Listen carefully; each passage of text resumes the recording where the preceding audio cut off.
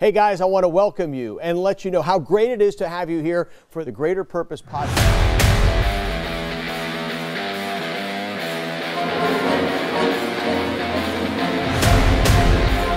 What's up? That's good.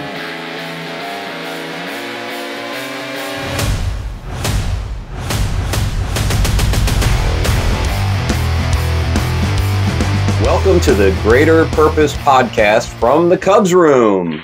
Cheering crowd is here. Do you hear the crowd back there? Is that awesome? What? So great to be here, and it's great to have Scott Shehan. We're going to introduce him in just a minute, but I got to do some due diligence. Otherwise, I'll get fired by my producer, and I don't want to be fired from my own podcast. So go to the this website will take you back to the greater purpose, but it will also take you to some other ministries and some other things going on.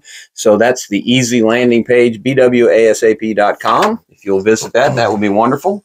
We're also continuing to promote the book that Shannon Williams has written, Revelation Unlocked. It's a great study book. We had to stop him from telling everything about it Yes. because you don't need to buy the book if you can watch the video. So anyway, and he's working on an audio book too, so that'll be Oh, good. Cool. But it's a great Cool. study book. Uh, you can get it on Amazon. And those are the main things that I'm supposed to cover. My producer was here for a podcast we recorded earlier, and then he left. I did So see him, by the way. He, did- was here. See, Yeah. He knows I really have a producer, and you'll know too because you'll see it on the one of the podcasts, There but not go. on this there one. I don't know what it is. He comes, he leaves. I don't know. He thinks he can just come and go, but no, I'm just kidding. So, Stephen Wright is a great friend and a good man, and I appreciate his influence on me. And in his, in his influence, the Greater Purpose podcast would never have happened if it wasn't for him. There you go. So let's jump right into it. Let's introduce Scott Shehan. Yes, sir. So tell us who you are, my brother. Uh, Scott Shehan, Gaston County, born and raised. I've been here my whole life. Uh, my parents, actually, my dad's family grew up in Cleveland County, so you know we're still pretty local, There you not, go. not far at all. Right. Um, you know, Ted Alexander's stomping grounds. there you go, Yep. there you go. I actually came from a town called Lawndale, if you're familiar Oh, yeah, with that. sure. Very small, one stoplight in the whole town, still Yeah. to this day. But uh, yeah, great, great little upbringing there, Yeah. just uh, with just good old hearted country people, and right. uh, you know, learn the value of hard work and Yep. Learn the importance and value of being a godly man. What's got us here today. Yes, sir. Yes, sir. Absolutely. And your business? Uh, I'm actually, I've got several. Yeah. Uh, I've got my main business is A Plus Lawn Care and Landscaping Incorporated. Oh, Um, bet he freaked out when he came out. Yeah. I'm kidding. Put crabgrass out there. That kind of? Yeah, it's okay. But that's on East Ozark and Gaston. We've been there for over 20 years. now. Nice. Uh, we also have an A Plus Landscaping Incorporated, which is a landscape supply yard that we Okay. sell material, you know, gravel, Gotcha. rock, whatever. Yep. Um, then I also farm. Silas Nice. Ridge Farms is Oh, mine. there you go. We got a farm in Dallas. We do wheat and soybean. Right. And then we've got some rental property. Star Management Group is Wow. also mine. And uh, then we're doing a bid now for a county commissioner seat. So Wow. a lot going on. I busy times. I was a busy guy. this guy right here is extremely busy. So we have a lot going on, but I like it that way. Yeah. Uh, I don't like That's sitting still. Idle go. hands are the devil's play toys. Yes, so sir. we don't Absolutely. want that. Yep. Appreciate that. That's Yes, sir. So what do you? So what would you say was the first? Uh, and maybe for some guys it's a progression. It takes a few years. Uh, but for some guys it's just that moment when they know that hey, I need to become the the man that God wants me to become. So when would you say that? I was very young. okay. And like a lot of kids, I think in our age range, we spent a lot of time with our grandparents Yeah. growing up. Mhm. And my dad's parents were instrumental in my upbringing. Nice. Um, just country people, never had anything. But what I saw as a kid growing up is they were happy. Mm, They were always happy. They had such joy in the little things of life. Sure. And they had such joy in people. And that's what they instilled in me. And one of the greatest life lessons that they ever taught me was you're supposed to leave people in a better condition than you found them. mhm. And so as a, as a young man, I always tried to do that. And I still do to this day. I want to be a help to people. I want to be an encouragement and I want to be a support Sure. because that's what God, I think, has called me to do. Awesome. That's cool. Yeah, I was listening to I think Michael Youssef this morning. He was talking about uh, about um, no, we don't ask God to to to bring us into the bad times, but we're, when we're in the bad times, the joy that we have in Him is what brings us Amen. through. So that's sir. cool. That's Yes, sir. awesome. Great. So in that transition or in that moment moment in time or all that kind of stuff, and since then, who would you say would be the man or the woman? uh, or one of each. We've had guests say that there were a couple of influences that inspired you, uh, that inspired you to that point and even beyond that point. Both of my grandparents. Mama and Papa. Gotcha. Um, they were the most influential people in Mhm. my life. Yeah. Um, Mama came from a large family. She had to quit school in the seventh grade Hmm. to go to earn money for coal to heat the house for Wow. the family. Right. And so she did that because it was the right thing to do. Um, and I remember the house that they bought when they first got married. I still have that house to this day. Oh wow. It's cool. one of my rentals. And every time I would go, she would be in the kitchen cooking a pot Mhm. of cabbage or Yeah. stew beef. Yeah, And she would never want somebody to come by and not have something to eat. That was just her way. Wow. And she'd be in the kitchen over the sink and she'd be working and she'd always be singing a gospel hymn Amen. every That's day. Yeah. And she'd be looking out the window, and as cars would pass by in that little small town, she would say a prayer over Wow. every car that Wow. would pass. Amazing. And, you know, Papa, bless his heart, grew up without a dad. His Mm-hmm. father passed the night he was born. And so, never having that kind of a male influence in his life, um, he struggled. Mhm. But he really did a great, great job uh, of coming up to be a very godly man. And his career was in the tire business. Okay. He delivered tires for Okies Tire in Shelby for many, many years. Dirty job. Yeah. But what I can remember is he always knew how important it was to make a first impression. hmm And so his attire would be dress pants, a tucked in shirt, and a tie There you go. to go wow. deliver tires. Yeah. And because he wanted to put his best foot forward and he understood how important that that was. Mhm. And that was very instrumental to me. Not saying I'm clean shaven every day. I apologize. I try to be. Hey, But, it's a different um, culture now, right? Yes, Yeah. absolutely. Yeah. Absolutely. But yeah, they were very instrumental. in Mhm. me. Absolutely. I don't even do that on Saturdays. You know, I don't. But uh, I have to for the podcast. I got I had to get you. up early you. just for this. No, I'm just just kidding. But no, I get that, and you know, I think that's uh, I think that's true a lot today. Um, and I get it. Sometimes you're casual, you dress down. I get that. Sure. Uh, Yeah. But there's certain times that we need to make that that positive Yes. impression. I think that's important. So, and I think you do that. So that's Thank cool. you. That's Thank great. So okay, so uh, based upon all that and your progression in your life as becoming the, the man God wants you to be, Mhm. how do you think you are best able to affect other lives, other men's lives, or boys' lives? Integrity. ah, nice. Integrity is the thing that I live every day by. Yeah. And I think integrity means a lot of different things to different people. Mhm. But to me, it's doing the right thing when nobody's looking. Right. And because that's what we should do. Right. Because I don't want accolades. I don't want fame, fortune, and glory. Mhm. I want to do what's right because it's right. Yeah. And I wish if more people did that, we'd be in a lot better position these days. Yeah. Sure. Yeah. Um, David Jeremiah preaches on that a lot, and that's kind of where I learned my.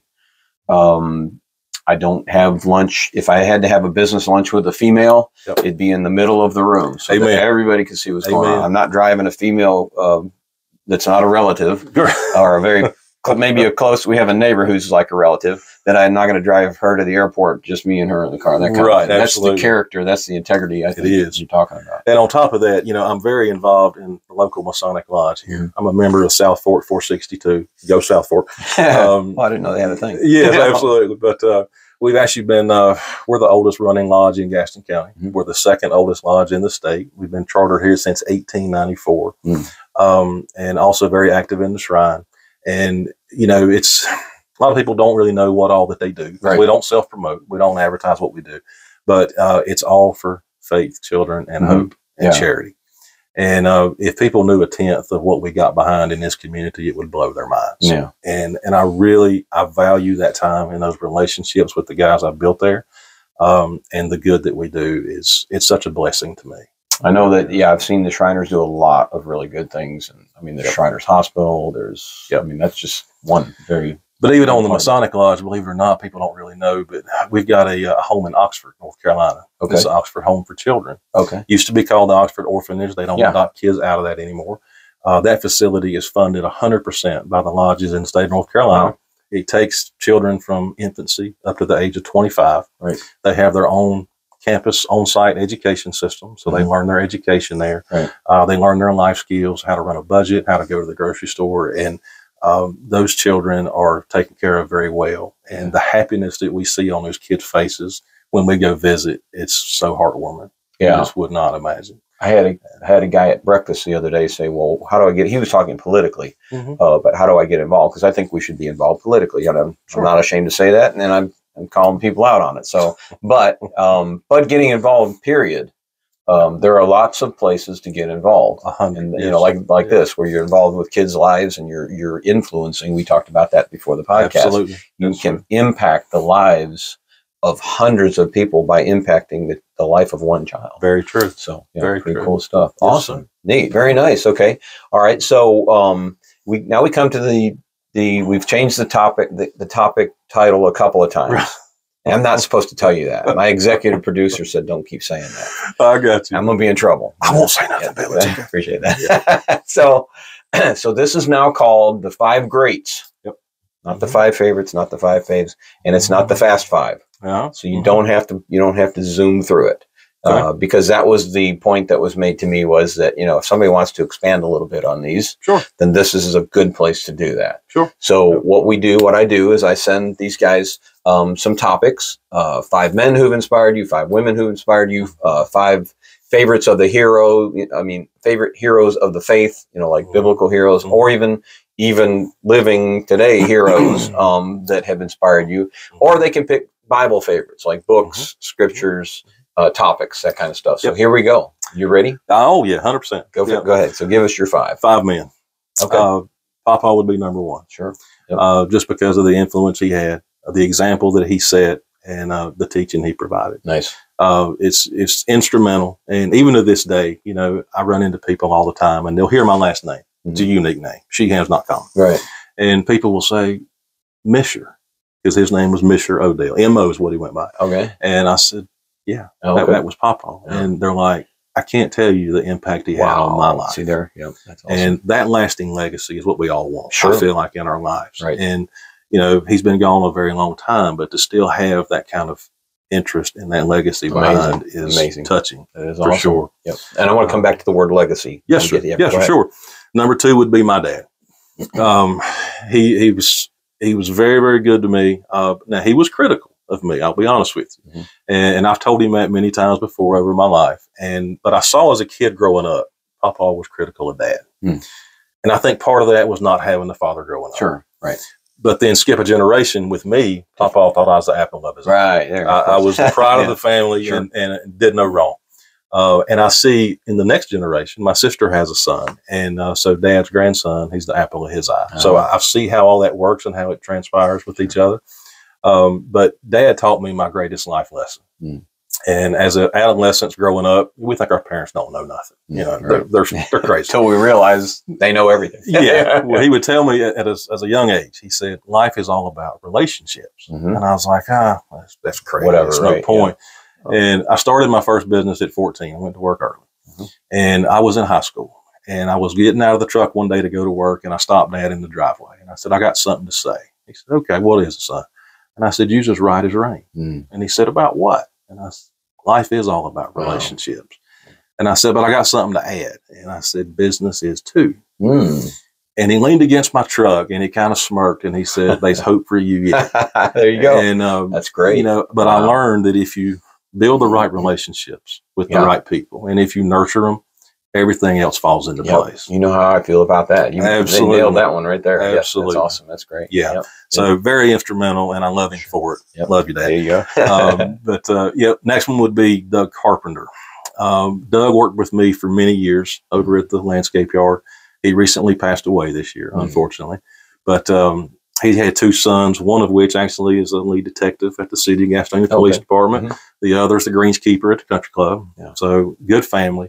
But Doug, just like Dad, understood the value of relationships. nice. And, you know, he taught me that that was vitally important and to break me out of my shell. Cause I know you can't really tell now, but when I was younger, I was very scared to be around people. Really? What? I was. I, wa- I was too. So I get it. I, I didn't want it. to talk to people. I It- totally it, get it. threw me in a very anxious state. Yeah, yeah. And um, Mhm. my job took me out of that you go. because I'm in a position I have to talk to people. Right, right.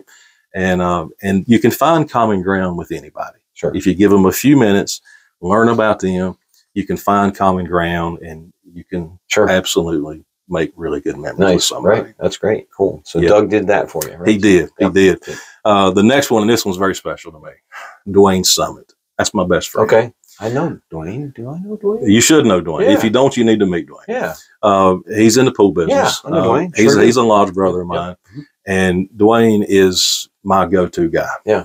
And we talk every day, multiple times. We went to they went to we went to church with them for a little while. Awesome. Ranlo. Yeah. Awesome. Yep, okay. sure. Him and his wife Chantel, Yep. great people. Yep. Love them dearly. Mhm. Um, and so anyway, I try to build Dwayne up all the time, and I'll give him accolades, and he's always like, "I ain't Yeah. worth nothing. I ain't worth nothing." And I'm like, "You're worth something to me." And go. he'd be like, "What do you mean by that?" And I Mm. said, "You're my block of iron." Wow. And he's like, "Explain that to me." And I'm gonna get a little biblical here. Okay, go. Proverbs 27, 17.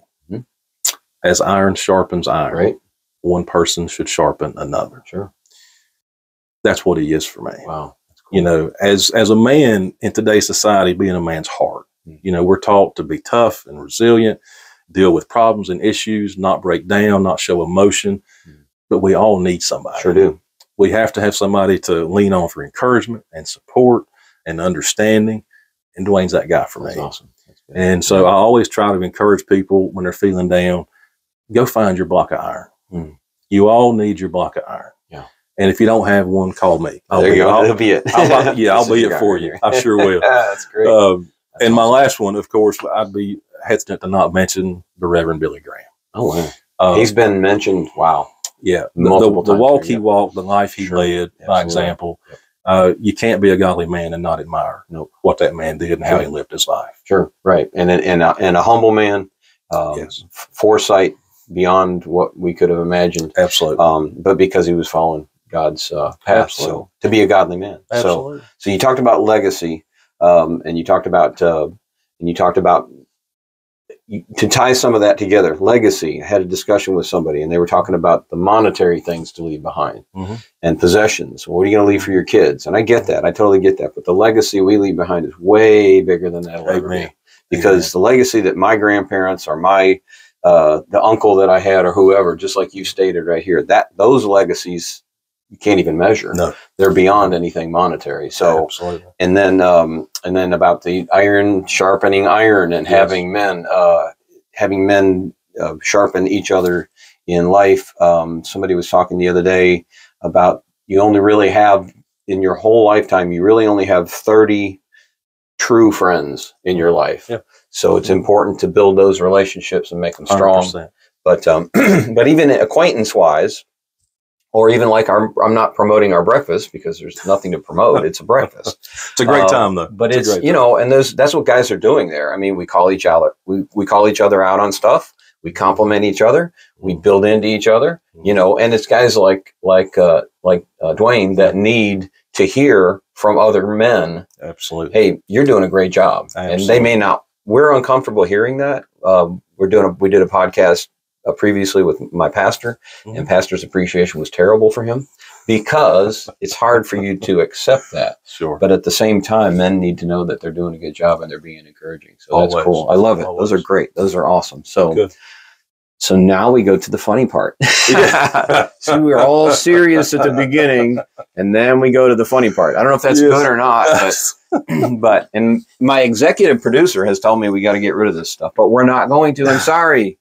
She has helped influence. By the way, you talk about influ- influential people. My wife is is a great influence on me, but believe it or not, on the podcast because she watches them, she helps critique them. yes. I may not always agree, but usually I capitulate. And well, and, and I'll speak real quick on, on the woman standpoint. I was very old, I guess. I guess you can say old when I got married. Yeah. You know, I was 40 years old Yeah. before I decided Yeah. to get married. And uh, I knew it was going to take a tremendously godly woman to get me to that point. And lo and behold, he put her in my life. Nice. And, um, you know, we've been married now for since, since 20. Mhm. Yeah.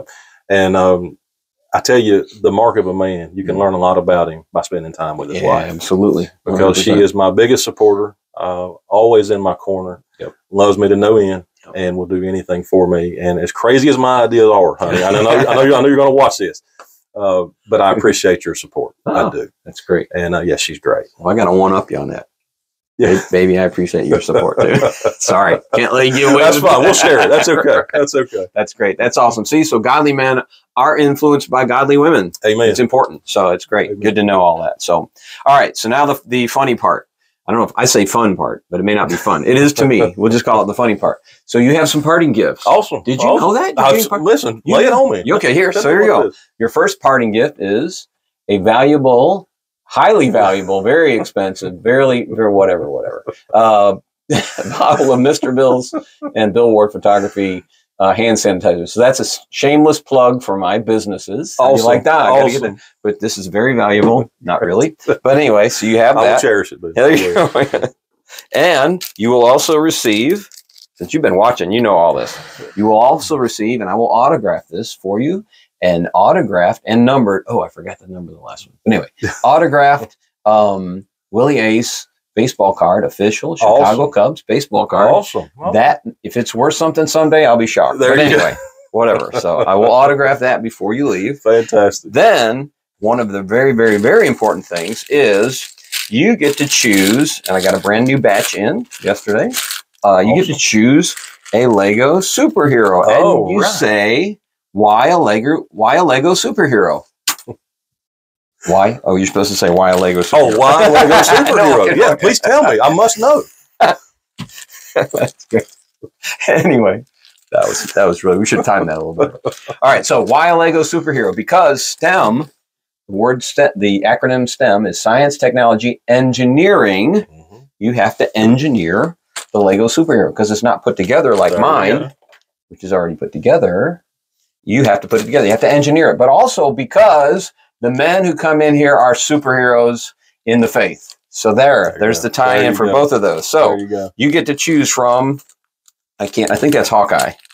And there's Hulk and there's Thor and there's uh Doc, no that's Superman, Vision, Iron Man, Captain America and or Batman, the only one that's not Marvel. It's got to be Iron Man. Iron Man, Yeah, dude. Iron Man. That see that's mine. oh, see, there you That's go. mine. Great Iron Man. alike. There we at go. Iron sharpens iron. Oh, right? there you go. Yes, cool sir. deal. That's Awesome. awesome. All right, so you got your parting gifts. Now you got to give us your your sports story, sports, story. related Sports story. related yeah, story. yeah, yeah. Okay, got it. As a, a young kid, Dad and I would always go down to Atlanta to watch the Braves play Ah. every summer. Yep. Loved it. This is back when the Braves stunk. Yeah. Couldn't win unless that thing didn't show up. Right, Right, right. Terrible. Yeah. But we loved it. It was a great Yeah. time. Well, Dad was also a fast pitch softball player for tw- Oh. over 25 years. Nice. He loved that. Those guys And, um, amaze me. Oh yeah, it's crazy to Yeah, watch. Really is. Well, one summer they were having a tournament in Atlanta, so he was like, "Hey, we'll go down early. We'll catch a Braves game and then go to go to my tournament." Was like, fine. And Yeah. I think I was probably seven at the time. Cool. You know, uh, so we go down on Thursday night. So Friday at the hotel, we're in the pool, you know, hanging out, and it was hot. Hmm. Sun was out. I didn't put sunscreen on. Oh no. Dad, typical male, he didn't worry about it either. Yeah, right. I got so burnt, Bill. Wow. like sun poisoning burn. Oh, no. Blisters popped up on Yeah. me all over. oh. Uh, we went to the game that night. I made it to the second inning. Started violently getting sick. Had to leave. Uh, still went to his tournament, but in the car riding between ball fields, every bump, it was just Oh. agonizing pain. Oh my goodness. So, long story short, when we get home, when my sweet mother, God bless her, saw me in my condition, I thought she was going to divorce my dad. she was furious, absolutely furious. Mike, how could you do that? Yeah. You know, but typical guys, we just didn't know. No, I mean, no, guys right? don't worry about No, that kind of yeah, stuff yeah. because I was very fair skinned at the time. I'm not anymore, thank God. He finally let me start getting tan. But uh, so it doesn't happen anymore. But Yeah, yeah, yeah. that was as painful as it was. Oh, then, wow. It's a funny story to reflect on now. Yeah. We love talking about that. And uh, was still a great memory nonetheless. yeah. And uh, you but you missed the game. unfortunately, yeah, but uh, they lost, no surprise. So you know, wasn't Yeah. too heartbroken over that. Yeah, for this uh, generation out there, you don't know what that is to be through a losing through losing losing years like Right, like we did with our teams. Absolutely. All yes. right. Well, very cool. That's pretty neat stuff. So, well, listen, Scott, I do appreciate you being here, taking you. time to be here, and Yes, thank you so much. Absolutely. God bless you, God bless you. and thank you guys. Remember, subscribe, share. We want you to watch them all. So, take care. Thank you, guys. God bless.